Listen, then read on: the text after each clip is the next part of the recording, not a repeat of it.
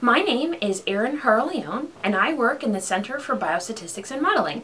I'm a biostatistician within the agency, which means that I work with researchers and managers throughout the agency to help to design studies, analyze data, prepare documents for publication or for gray papers, and to generally just assist with any of the research and management projects that we have going on. When I went to graduate school, I knew I wanted to work with animals. I'm a real animal lover, but I wasn't sure what kind of careers were available. And through talking with professors and going to conferences and meetings, I learned about biostatisticians, people who can work in an animal field, biology related, but also work with statistics, which is a real passion of mine because I'm a nerd and I like math.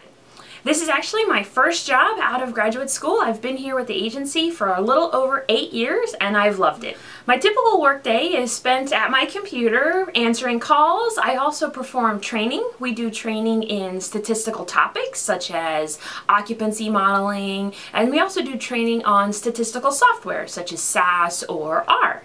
Sometimes I get it out in the field, which is a lot of fun. I'll go help to catch gators for projects that I'm working on, or I'll go help to uh, mark fish for other projects and get to see a little of how the data that I'm working on are actually collected.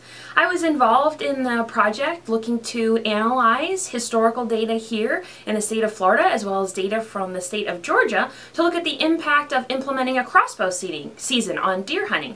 We were able to show that it wouldn't have an adverse effect and so that was implemented. I've also been involved in a project that was looking at describing three different species of alligator snapping turtle. Historically, they've been viewed as one species as I was involved in analyzing the data to describe them as three different species, all of which are represented here in the state of Florida.